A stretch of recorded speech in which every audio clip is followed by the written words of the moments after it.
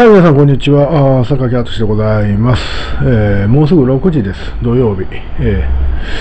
ー、えー、もう今日はね、現地調査に行ってきましてね、もうほぼ100キロ走りましたね、車でね。えー、下の道走ってますからね、結構疲れますよ。えーってなって。で、さっき帰ってきまして、えー、ふにゃふにゃやってます。えー、出入り挑戦、出入り挑戦じゃん。デイリー新潮ですね。デイリー新潮、最近ね、コリア系の記事をいっぱい上げてくれるんですよ。はい。えー、10月30日ですか、今日ですね。ん？昨日か。昨日ですね。そう、昨日私これ、あの、帰り、帰宅途上で読んでたんですね。えー、鬼滅の刃ってでいいんですか、これ？鬼滅の刃。鬼滅の葉って感じなんです。鬼滅の刃の韓国公開発表を、ムン・ジェインの反日不買運動を一瞬で破壊した底力という記事なんですけど、すいません、私このね、知らんのですよ、この鬼滅っていうの。鬼滅という読み方で正しいかどうかもよろしくな。あの、鬼滅という言葉ないですからね、日本語に。えー、多分このためにこう、作りになった言葉だと思いますけど。え、ちょっと読んでいきましょう。ファンたちはドキドキして眠れないと看護。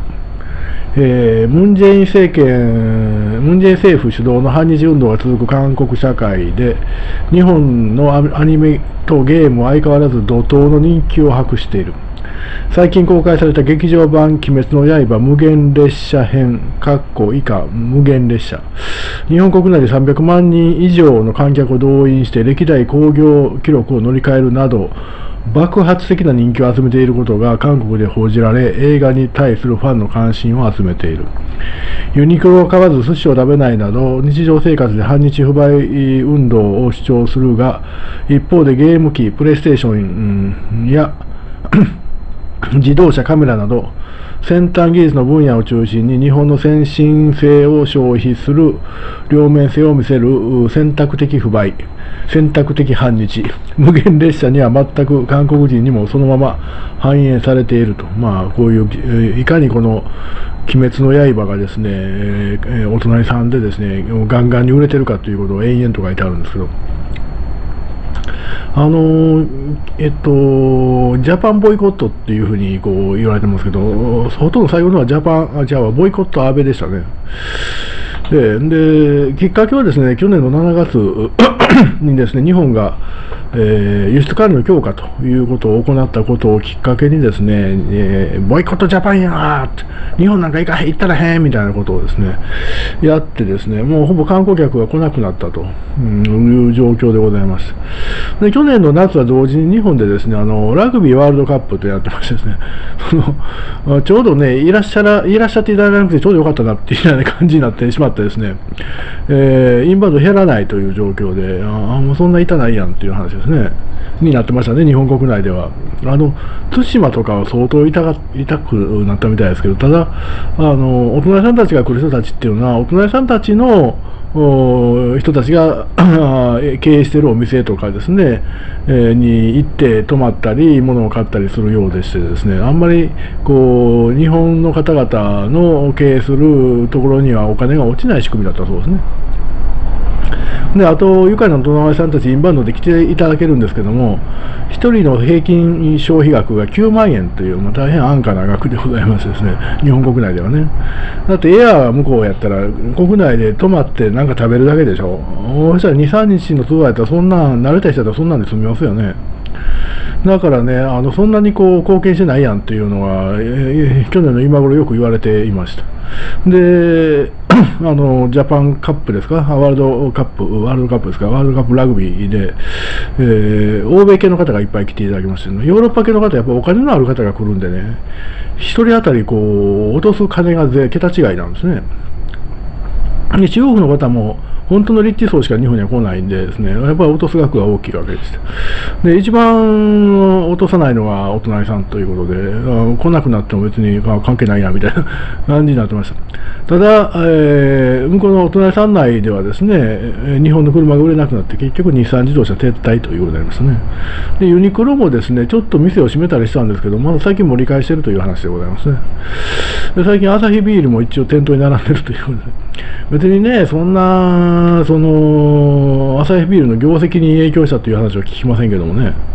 えー、で、えーそうこうしてるうちにコロナになりましてですね、多分これね、このままいったらコロナでリセットなんですよ、愉快なお隣さんのジャパンボイコットは。えー、でもまあ一応、一応形の上では続いてるようでして、えー、で、今回この鬼滅が行ってですね、えー、バカ受けしてるということですね。僕もこれは、まあ、知らんからね、ようわからんのですよ、どんな、なんか、えこの、なんていうかね、えー、鬼滅のおかげで、またその日本人気やあれしてですね、この映画面白いですね。ニュースでも動物の森はいいの？と、反日不買運動を皮肉っているという、そう、動物の森もなんか受けたみたいですね、任天堂のね。えー、結局ね、あの、お隣さんたちも本音と建前、を使い分けてらっしゃるようでしてですね、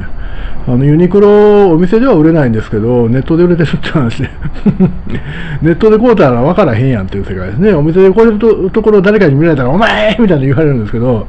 であのネットで買うたら場合には分かりませんからね。えー、ということで、ネットを伸びたというようなことを聞いてます。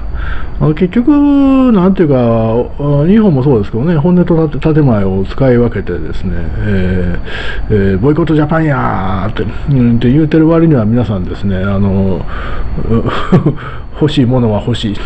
買いたいものは買うというところがあるようでございまして、あのムン・ジェイン政権もですね、主要人物はみんなレイクサスに乗ってるって話ですからね、まあ、それは乗っていただければいいんですよ、それはトヨタの業績になりますから。うん、でもまあ、あの日産はね、残念なことに撤退しましたけど、まあまあ、それはそれでええとして。えー、ちょっと心配なのはね、ここに来て、例のあの、貿易管理の強化の原因の一つではないかと言われているですね、徴用工問題というのがございまして、その日本企業の差し押さえられた資産がですね、年内にもしかしたら現金化されるんちゃうかというふうなスケジュールになってきました。僕はないと思うんですけどね、あのムン・ジェインさん、そんな根性ないと思うんですよね。日本とよそに行くんで喧嘩する根性全然ないと思うんですよ、あの人は。だから伸ばしに伸ばして自分の任期中はやらへんだろうと私は踏んでるんですけど、なんかスケジュールが出てきましたね。えー、来月、来月も明日からか。まあ、あと10日後には裁判所の命令が出せるとか出せへんとかっていう、あの辺のね、手続きもね、ようわからんのですよ。書いてある記事によってちょっと微妙に違うんですよ。うん、なんで、どうするんでしょうね。うん、でも、年内出ないと思いますよ。うん、で、でもまあ、だらだらだらだらと行くんでしょうね。で、何もしなければね、ムン・ジェイさんが何もしなければ、もう年内に現金化になってしまうんですよ。でもそこは裏から手回してですね、あのまあ、偉大な三権分立の国ですからね、手が回せるわけですよ。えー、あの愉快な大人売り式三権分立でございますからですね、売り式は何でも OK なんですね。手回してどんどんどんどん引き伸ばしていくんちゃうのかなと。で大体、えー、10月30日、昨日がその判決が出て、えー、丸2年なんですよ。そんなんね、最高裁の判決があってね、丸2年ね、現金ができひんなんてね、普通ないでしょ。日本やったらありえへんというか、そんなんしてたら司法の怠慢やんつって、ガンガン言われますよ。うん、でもまあ、売り式はね、大丈夫なんですよ、売り式は。えええー、オリジナリティっていうぐらいですからね、えー、あのもう独特の習慣制度がありますから、2年間、うん、その現金ができなくてもですね、別にそれは OK なんですね、売り式ですから。えー、それがね、もし仮にね、動いたとなるとですね、今度まだ日本がね、あの菅さんも絶対やりたくないと思うんですけど、新たな措置を取らなければいけないんですね。で新たな措置っていうのは、貿易管理の強化よりもかなり強烈な措置があるわけなんですね。いや、それをね、やるとね、やるの簡単なんですよ、日本的には。日本がやるのは簡単なんですけど、向こうの国内がまたわーっと燃え上がるんですよ。で、別に、向こうがもう取れる手はほとんどないんです、実は。まだもう一回ボイコットジャパンやるぐらいですね。えー、あのもう一回ボイコットジャパンやってもですね、あのまあ、まあ、ユニクロの売り上げはダメになるかもしれませんけども、な言うたって別に あの、どう言いましょうね、ユニクロ本体の経営に響くような結果には絶対ならないですね。だってあれ全部向こう資本ですから。えー、で、もう観光客来ないでしょ？来てないでしょ？だから、もうそれくらい、もう一回ボイコットジャパンやるぐらいしか手ないんですけど、それされたら、まだ面倒くさいや面倒くさいっていうか、我々どうってもないですよ。我々どうってもない、我々というか日本経済はほぼ関係ないと思うんですけど、向こうの国内ではまた大変なんちゃうのと。いう気はしますけどね、まあでも、すべてね、あもう向こうさんなんですよ、どう出るかっていうだけの話であって、でもうそれやるんやったらこっちもやるならしゃあないでっていう、菅さんなんて官房長官時代にどういうね、対抗措置を取るかって全部こう並べてた人ですから、もうどれをやるかなんて全部頭の中入ってるわけですよ。これ行こうか、あれ行こうかって話になるわけですよ。えー、知りませんよ、そんな。